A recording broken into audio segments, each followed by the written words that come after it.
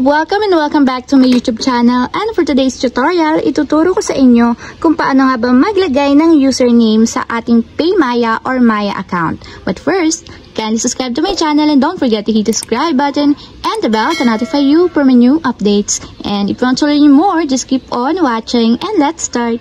So ayan for today's video, gagamit tayo ng Maya application and make sure na updated ang Maya app na gagamitin ninyo.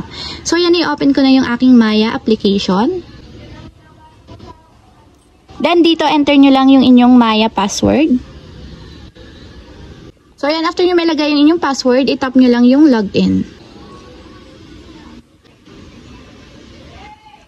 So, ayan, after nyo ma-open yung inyong Maya app, itap nyo lang yung profile picture na nandito sa upper left corner ng inyong screen.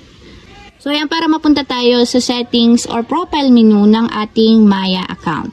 Then, pagdating dito sa profile settings or profile menu, may makikita kayo dito na create your username. So, ang ibig sabihin daw ng username is sila send or receive money with your own personalized username.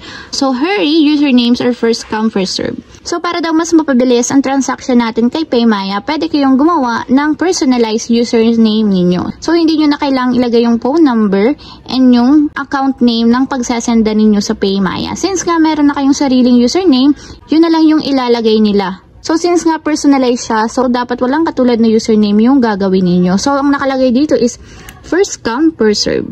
So, yan, itatap natin yung get started para makagawa tayo ng ating username.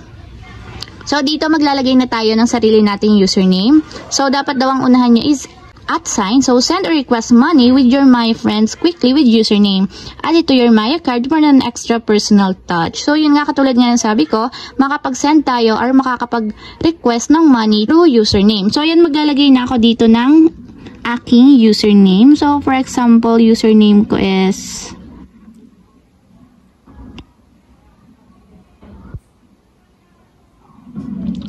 So, yan. Ito yung username na gagamitin ko. Since nga wala siyang red, so ibig sabihin, wala pang katulad na username yung nilagay ko. Usernames are permanent and cannot be changed. All letters will be converted to lowercase. So, kailangan daw lahat is naka-lowercase yung inyong username.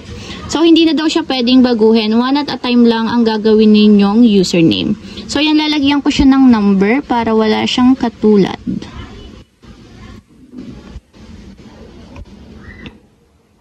So, yan, dadagdagan ko pa siya ng numbers. So, yan, kapag okay na, nakapaglagay na kayo ng username niyo, itap niyo na yung confirm.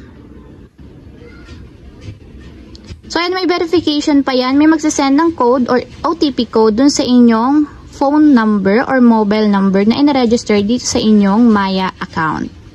So, ilalagay lang natin dito yung OTP na sinend sa atin through text message. So, yan nakalagay is 353798.